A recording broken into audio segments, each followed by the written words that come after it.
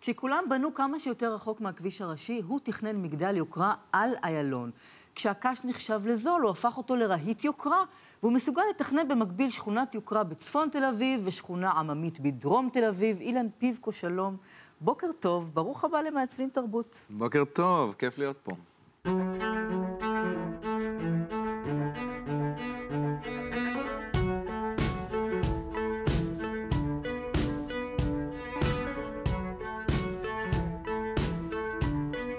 תגיד, איך, איך, איך נכשלת ככה? איך הפכת מהאדריכל הכי נון קונפורמיסטי שיש לילד הכי פופולרי בשכונה? מה עשית לא בסדר?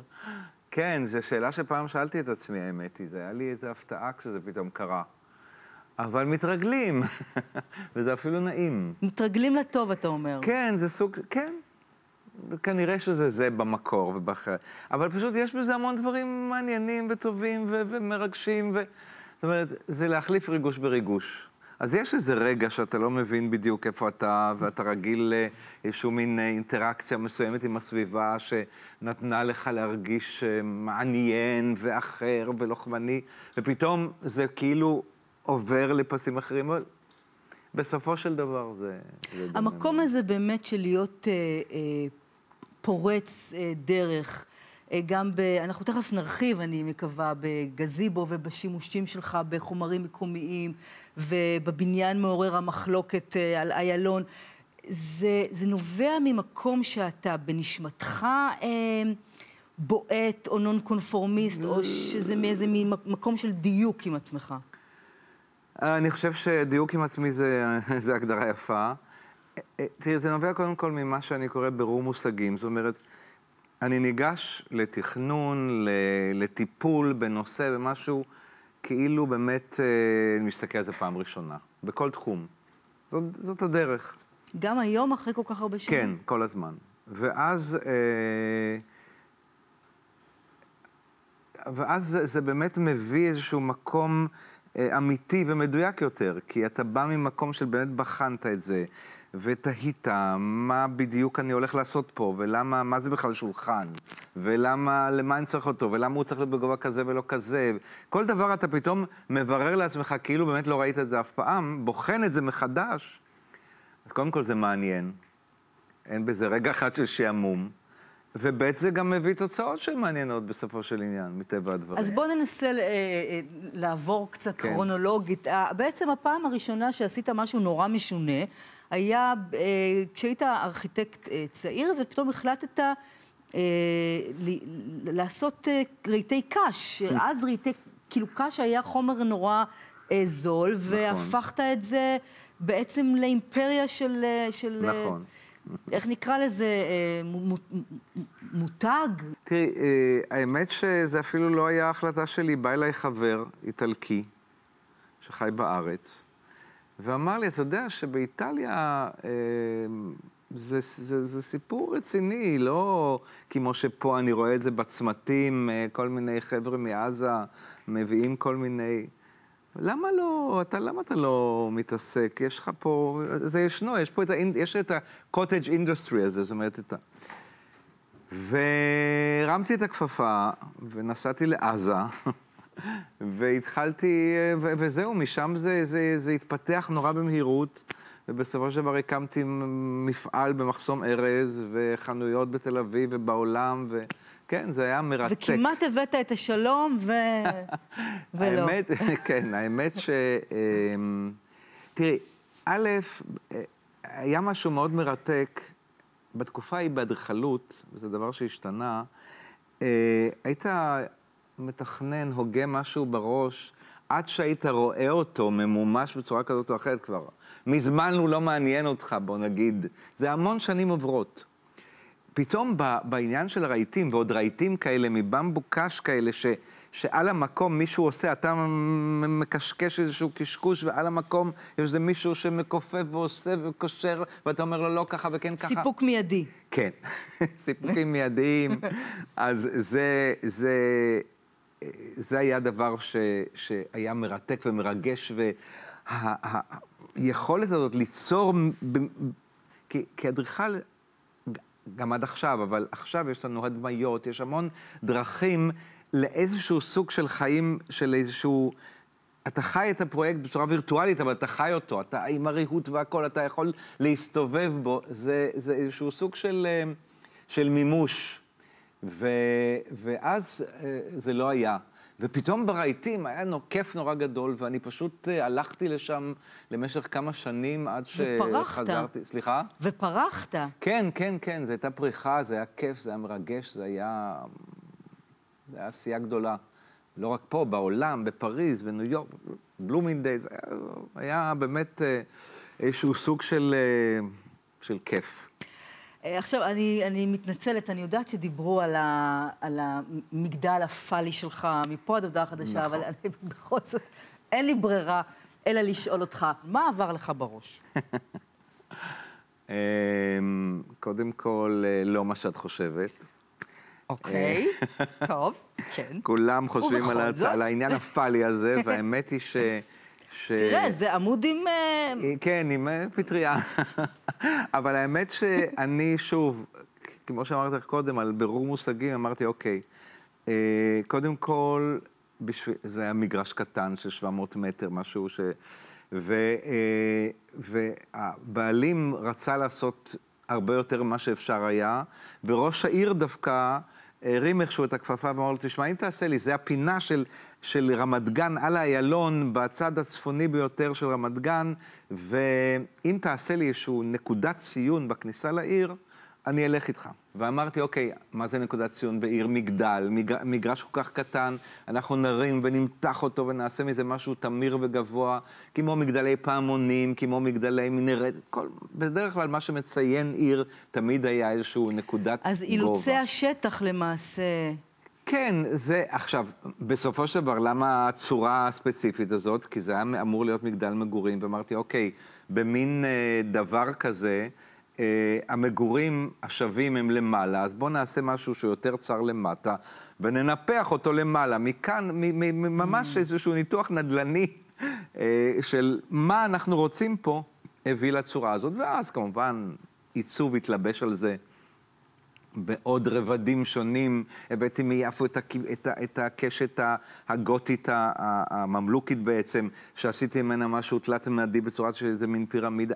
בקיצור, תגיד, עיצובים כמה- מכל כ- מיני רבדים נוספו על זה, אבל הבסיס... כמה באמת אה, שיקולים אה, נדל"ניים נכנסים לתוך אה, היצירתיות בתהליך של העבודה? בוא נשתמש בשני פרויקטים ש... אה, עכשוויים שהם נורא נורא שונים אה, אחד מהשני, אחד בצפון תל אביב, אחד בדרום תל אביב. למעשה, זה שני בלוקים בעיר, שזה דבר די נדיר כבר בימינו. היום כבר אנחנו שן פה, שן שם, הבלוקים, שזה משהו שמוקף בארבעה רחובות, הוא די נדיר אה, למצוא אותו. ושניהם הם בעצם בלוקים גדולים, שכונות של 300 יחידות כל אחד.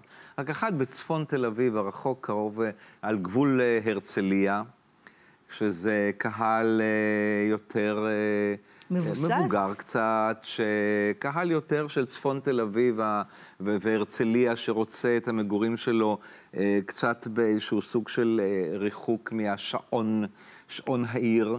אה, הוא נוסע בסופו של דבר למרכז העיר, המגורים שלו הם מבודלים קצת, ואז יש לנו שם בריכת נוי ענקית, ועליה... זה בצפון. שישה מגדלים, כמו אתה עובר דרך איזשהו מין ש"ג כזה, שזה איזה בוטקה כזה, אבל זה בעצם לובי של דרכו אתה נכנס ועובר דרך קשרים מעל המים ומגיע למבנים. זאת אומרת, סוג של התנתקות. קצת בידול. פלורנטין, פלורנטין, שהיא שכונה מאוד מעניינת, משהו השכונה היחידה בתל אביב, שהיא בעצם באורבניזם קצת אירופאי, זאת אומרת, זה בלוקים שלמים, שהבתים דבוקים זה לזה, עם חנויות למטה, עם uh, מסחר למטה ו- ודירות למעלה, הכל הוא במין סוג של עירוב שימושים אז מאוד שיתפת אירופאי. פעולה עם הנוף האורבני הזה. בהחלט. אני דיברתי בקונטקסט הזה, היה לי איזה שני משולשים שפירקתי עם צורות אומנם קצת מעוגלות, שיצרו איזה שהם אה, סמטאות כאלה, אבל בסופו של דבר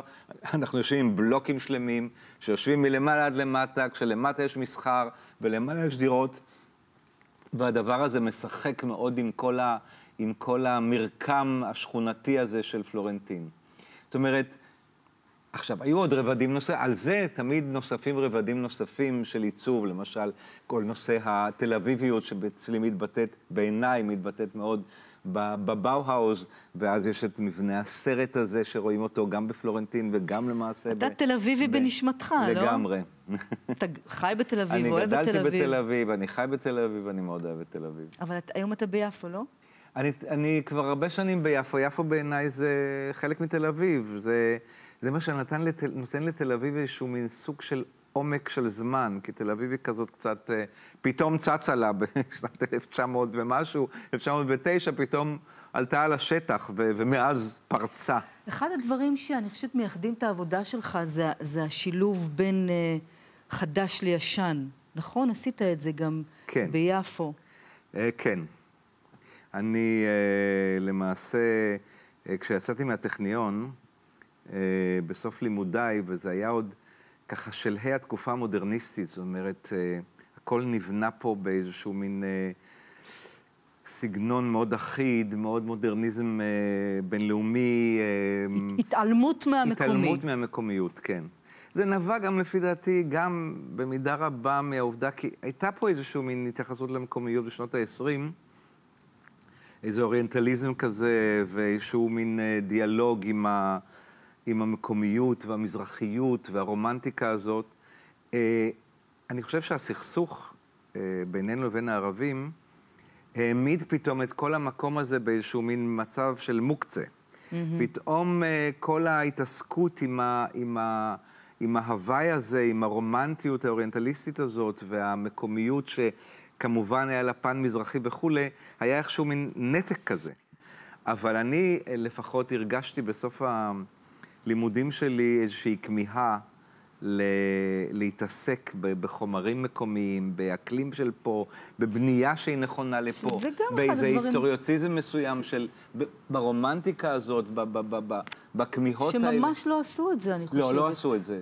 אני הייתי זקוק כנראה ליפו, ללכת ליפו בשביל mm-hmm. להתעסק עם הדברים האלה. אז באמת עיצוב הוליסטי, עיצוב כחוויה טוטאלית. שלא מסתיים רק כשהקיר אה, עומד, זה, זה גם משהו שאתה הבאת.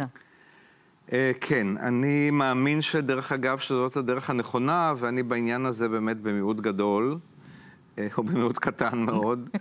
אה, אה, החינוך אצלנו וכל ה, הגישה היא שהדברים האלה הם אה, ממודרים. זאת אומרת, יש אדריכלות, יש אדריכלות פנים, יש עיצוב מוצר, יש... כן. אין... יש... יש אדריכלות גן, כל דבר הוא על ידי מישהו אחר. ובעיניי זה מאוד מוזר, מפני שאני חושב שזו הוויה אחת, זה הסביבה שאותה אנחנו מנסים ליצור. וקשה לי גם מאוד להשיג עובדים שהם רב-תחומיים כאלה. אה, זה לא קל, אבל אני, אני באמת, אני מרגיש שאני אני כזה, אני רוצה להתעסק בכל הדברים. אני מרגיש שאם מישהו פתאום נכנס לי למשהו שאני בניתי והוא יעשה עיצוב פנים, מה זאת אומרת? אני לא מבין, זה הרי אותו דבר, זו אותה ישות משני צדדים, זו אותה, זו אותה מטבע. אתה חושב למשל שהתרומה שלך בשילוב הזה בין אה, אה, ישן לחדש, בין, בין מזרח למערב, אה, עזר ל- ליצוק איזשהו, תראי, איזושהי... אני חושב, אה, במקרה הספציפי שלי, אה, אני מרגיש שהישראליות שלי קיבלה ביטוי ב, בעקבות תופעה שבעיניי היא מאוד מאוד מפה, ואני ללא ספק חוויתי אותה בצורה כזאת שזה התבטא חזק בעבודה שלי, וזה באמת... אה, בתקופה שאני הייתי ילד, אה, זו הייתה תקופה של עלייה מאוד מסיבית לארץ, של אה, פליטים מאירופה, שהגיעו הנה בהמוניהם, ובעצם קיבלו את המפתחות. אני יודע, אבי היה רופא, קיבל אה, לפתוח את מחלקת, המחלקה האורתופדית בהדסה תל אביב, ברחוב בלפור שהייתה, וכנ"ל היו הרבה מאוד אנשים. זאת אומרת, הם הרגישו... הם באו הנה ופתאום uh, התחילו, הרגישו, בניגוד לכל מיני ארצות הגירה, פה הם הגיעו לשלהם. ואפילו בגלל היכולות שלהם והכמות שלהם והכול, הם, הם באמת קיבלו את המפתחות. מבחינה זאת, הם קצת התנהלו כמו קולוניאליסטים. זאת אומרת, הם אדוני הארץ. ו... והם הרגישו נורא טוב באורם, והם הרגישו נורא, אמי למשל נורא אהבה את כל המזרחיות ואת המאכלים, רצתה לעשות פלאפלים, פולניה, כן? אבל ו... ממקום אחר. כן, והיא תמיד אמרה לי, תביא, אני רוצה שתתחתן עם תימניה, אתן כל כך יפות, אני לא נורא שאני לא אוכל לדבר עם ההורים. זאת אומרת, היה איזה מין רומנטיקה כזאת ואיזה מין פתיחות, אבל יחד עם זאת היה בית ככה נורא אירופאי. אמ, הילדים בחוץ, לעומת זאת, הצברים, הם התייחסו קצת אל, ה, אל השכבה הזאת כאל גלותיים, והיה איזה בוז קטן. ואני חוויתי איזושהי מין דיכוטומיה כזאת, בין לבין. לימים גיליתי שבכל העבודה שלי, לאורך כל הדרך, הייתה איזה, היה איזה צורך ליצור הרמוניה בין ניגודים. עכשיו, אדריכלות על דרך ההנגדה זה דבר שאנחנו מכירים באדריכלות. אצלי זה לא, זה היה צורך לא הנגדה, לשים זה לזה, ליצור איזשהו מתח בין, בין הניגודים, אלא ליצור הרמוניה בין הניגודים. ורק לימים הבנתי כמה שזה היה איזשהו צורך פנימי שלי, שפשוט הסתובבתי מילדות. להוכיח שהניגודים יכולים להסתדר נהדר. ואני יודע, אני מכיר את זה מהמון תחומים בחיים, של הצורך הזה, וזה מין צורך כזה להוכיח. פתאום קלטתי שזה לא צורך לחיות כך, זה צורך להוכיח שזה יכול לחיות. ובעיניי זאת הישראליות שלי. ידידך האדריכל האמריקאי רוברט ונטורי אמר פעם, סימטריה מוחלטת היא מחלת נפש. אז אנחנו נשבור עכשיו את הרעיון ונצא להפסקת פרסומות קצרה, אבל לפני כן נשאל אתכם הצופים בבית שאלה אדריכלית. באיזה עיר נוסדה תנועת הבאו-האוס? את התשובות תוכלו לכתוב בפייסבוק שלנו, ואולי תוכלו לזכות בפרס מתנת? ידיד ליטושים, מתמחה בליטוש אבן ושיש, גרנית ופתרונות מגוונים. אבסולוטו, אומנות באבן ושיש. אומנות בנגרות, אינטראטס.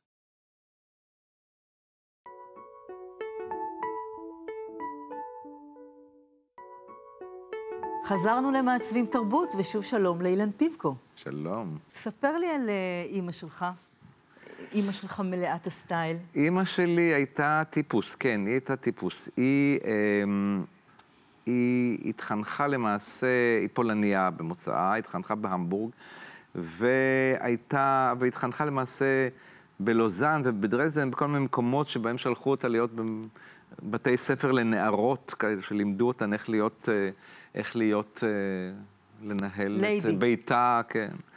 והיא לקחה את זה, היה לה משהו שאנחנו רק, רק היום, אנחנו מאפיינים אותו כקוליות. היא לקחה את זה, ידעה נהדר לשלוט בכל הדברים, אבל לקחה את זה מאיזשהו מקום, ככה, איזשהו סוג של, של ככה זלזול קטן. זאת אומרת, היא לא עשתה מזה עניין, והיה לה באמת איזה, איזה מין אמ, אמ, תערובת מאוד מאוד מעניינת של... אה, מצד אחד באמת של האירופאיות הזאת, מצד שני של איזה מין, הכל, הכל בסדר, שום דבר הוא לא, אנחנו צריכים להיות ככה ואנחנו צריכים להיות אחרת. הכישרון של העיצוב ממנה?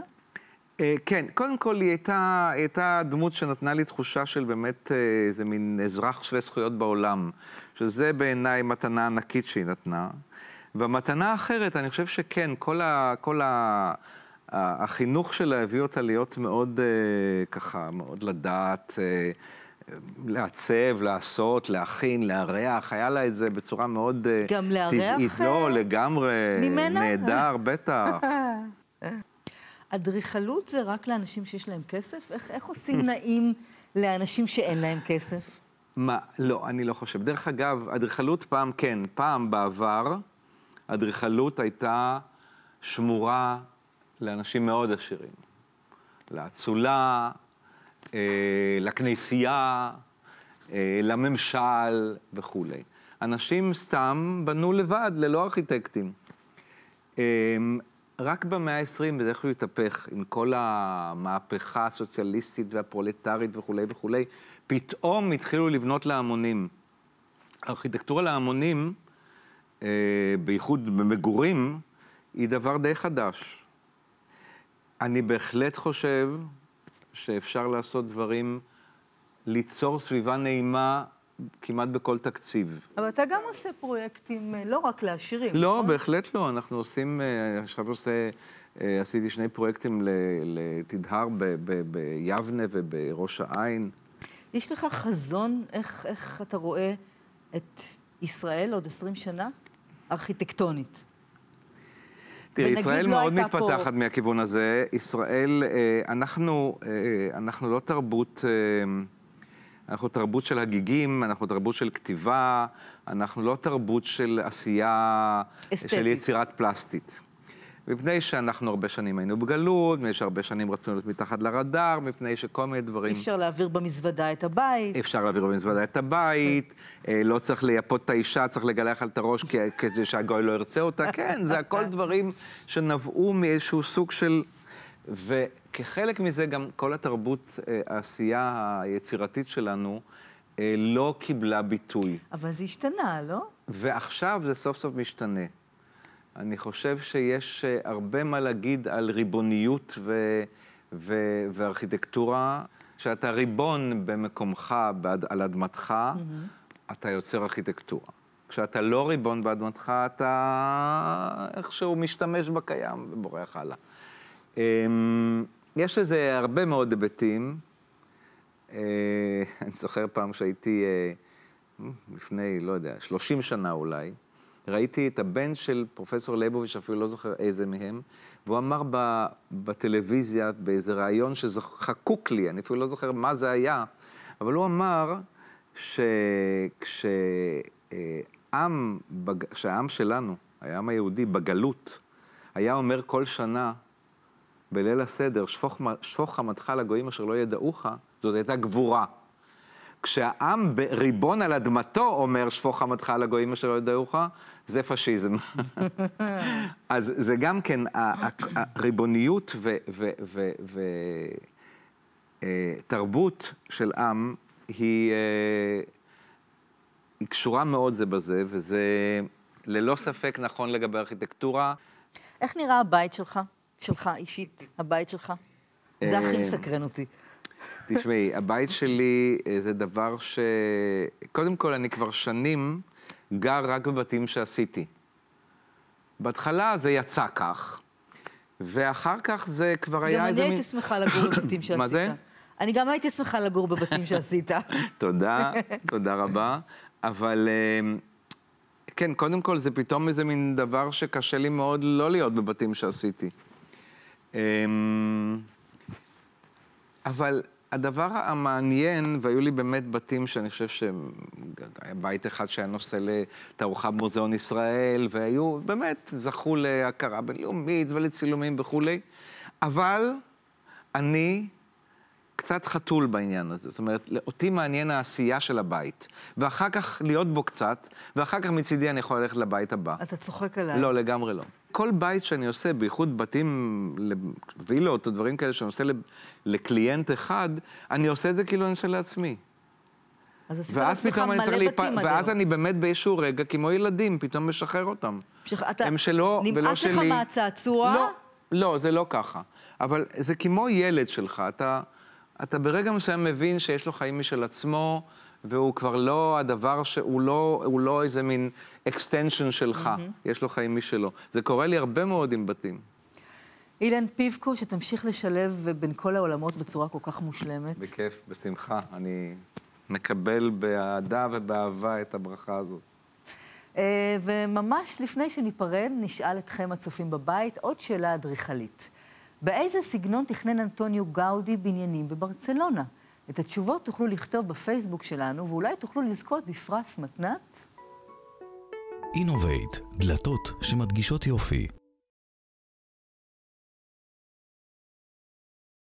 חרמון מערכות מיגון, אדריכלי הביטחון שלך.